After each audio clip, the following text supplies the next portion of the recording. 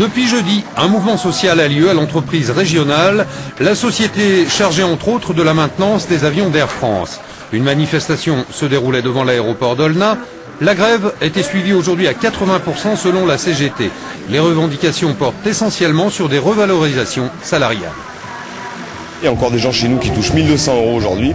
Euh, c'est inacceptable. On demande une augmentation de 5%. On est filiale à 100% du groupe Air France. Il est bien évident que notre actionnaire principal doit mettre la main à la poche. Dans le cadre des négociations annuelles obligatoires, la direction avait accordé 1% d'augmentation ainsi qu'une prime de 350 euros.